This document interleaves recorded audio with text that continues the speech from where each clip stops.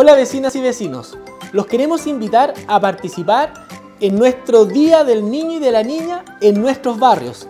Para eso hemos elaborado nueve fiestas territoriales en los distintos barrios de nuestra comuna.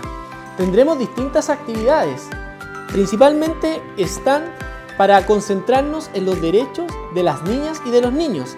También fútbol, breakdance, muralismo, entre otras actividades.